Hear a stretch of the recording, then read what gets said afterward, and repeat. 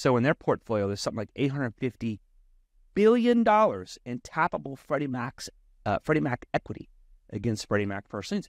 That could upend uh, the entire business. I mean, did some of these businesses around here, some of these lenders just uh, create a whole second lien strategy and boom, Fannie and Freddie are in the game.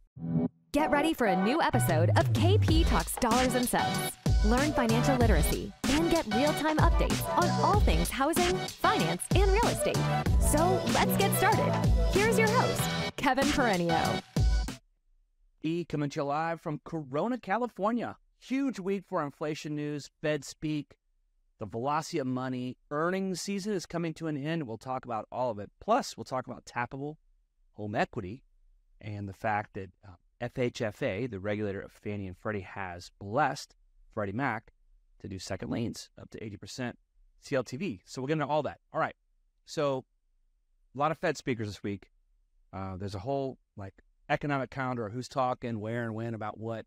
And so it'll be interesting to hear them, uh, what they have to say. But really, the big tier one data starts tomorrow morning with the PPI, the producer price index, which is important because a lot of those components go into um, the PCE, the personal consumption expenditure, which is the Fed's preferred gauge of inflation. It's got less weighting on housing uh, than the CPI, but the CPI, the consumer price index, which is the one that's been rattling the markets the first three months of the year, that comes out Wednesday morning. So PPI, CPI, PPI is expected to go up at like 0.22%. And I believe the CPI is expected to go up 0.31%. That's month over month. These are core, um, core readings. So um, now, not to sleep on that, we got some retail sales figures numbers coming out, but also the uh, leading economic indicators. That's a very interesting report.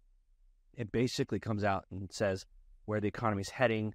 A bunch of economists are surveyed and kind of say what they have. Uh, uh, they you know get to write down what they think and where we're going. Are we going into recession? Is job growth slowing? What they think about inflation? It's a pretty interesting, unique report that comes out Friday. So lots of stuff to watch. Keep an eye on it. Um, you can see the 10 year treasury has been coming down since we've had multiple softening labor reports, but it's still kind of stuck in this range, right? 445, 4 point, you know, 5 has kind of been lately the ceiling, but it could break through that if we have higher inflation again, or we could come down another leg. Um, if you have higher than expected inflation, um, then that would be one third of a year, four months in a row of higher, stickier inflation, which of course just resets you know, um, how many Fed rate cuts there will be, um, how stubborn inflation is, and how long we will have to keep rates high for longer, not higher because they haven't raised in like, what, like 10 months, something like that. I mean, it's like a record. Um, it's like one of the longest periods ever that uh, rates have not been raised, uh, excuse me, have not been um, cut since the last rate hike. And so we'll see what inflation does this week. Okay. Talk about earnings season, and I'll get into why it's important um, not to get into you know financial advice, um, but how um, companies are looking at yields and they're looking at interest rates. This is a very interesting thing um, that I read. I paid for a bunch of crazy stock subscriptions and analysts and people that are not in the mortgage business, people that are not hopeful of lower rates. These are people who are real, who have billions of dollars on the line, and who are um, interested in where interest rates will go, how stocks will move, what the economy is doing.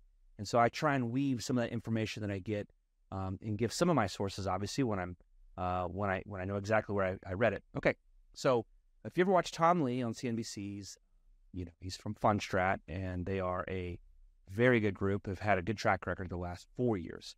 Um, so earnings season so far has had 46% of companies reporting earnings per share growth over 10% beat.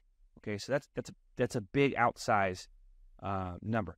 Now, the, there's there's a graph that they showed um, in the subscription service. I'm just giving the cliff notes, and trust me, I get tons of information from this service. The number of companies beating by more than 10% has been coming down, and now it's starting to go back up.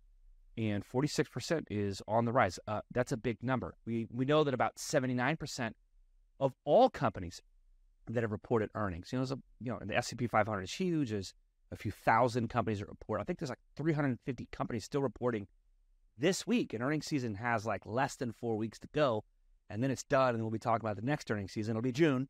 We'll be talking about you know uh, some of the early reporters coming out. So uh, it's important um, that uh, you know companies are beating because even in a higher interest rate environment, um, where the Fed may possibly keep rates high for longer than expected, um, companies are still earning money, and that's important because uh, small business creates 55% of all of jobs in America, and so uh, corporations get money from certain places. One of them is from selling corporate bonds. Corporate bonds. Now, I read something very interesting, and I want to get into this. Last week was the most um, corporate bonds, something they call high yield bonds. There's different ratings of bonds, um, but the interest rate is, is is the highest it's been, and obviously in decades, because we have you know a 5.25 to 5.5 Fed funds rate. That's the minimum rate that banks lend to each other. So corporate debt, when it is issued and sold at a bond, um, let's say Apple, for example, everyone that has an iPhone, well, maybe they want to build, you know, raise some more money. Um, they think it's cheap for them to go have like a six and a half corporate yielding bond and note that they can pay back over the next 10 years or so um, to go raise, you know, $500 million or a billion dollars to then go work on a project like Apple, you know, Vision Pro or something like that. So um, these companies sell it all the time. Last week, the most corporate bond was issued in a week's period in almost two decades. Okay. So 53 billion was issued just by Wednesday. And I think for the week, the number was like 87 billion. Now, why is that important? Okay. If corporations are falling all over themselves to issue debt now, they must expect that the next move in interest rates is down. That's important because um, we bring this up because, uh, you know, there's more than one way to estimate what the Fed Reserve's next move is other than just from the FOMC meetings. That's a very important thing. And so um, it's something to keep an eye on. What's some other money, uh, you know, velocities of monies that we keep an eye on? Well, the 10 year Treasury yield spread to the 30 year fixed rate mortgage has been coming down.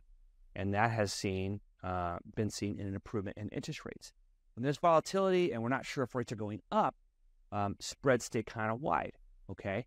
So we've had as high as 310 basis points spread between, you know, uh, five, five percent ten-year Treasury, and then three over that is an eight percent rate. We've seen that. We've seen eight point one percent on a national average rate, and so that spread has been coming down.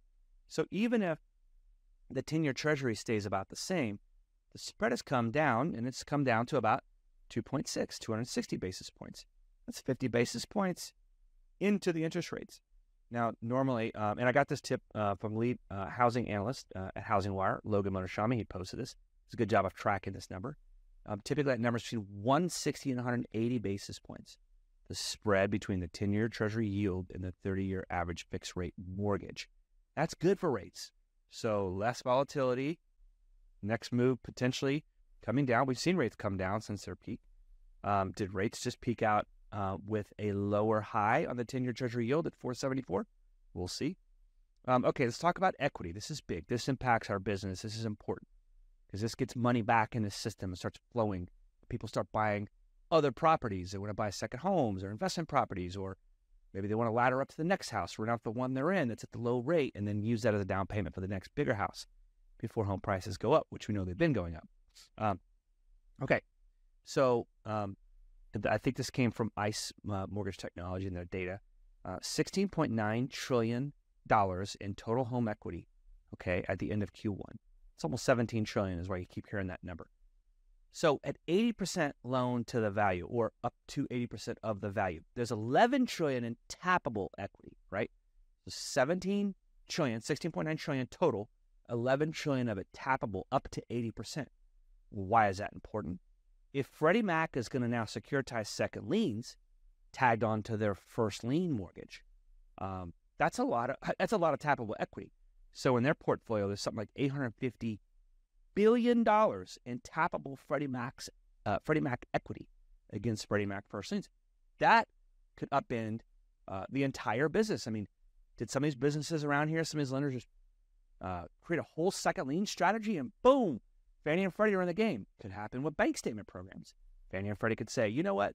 If I get to see 12 months of bank statements or 24 months of bank statements, why wouldn't we lend an A paper rate on that? It could upend the non QM market.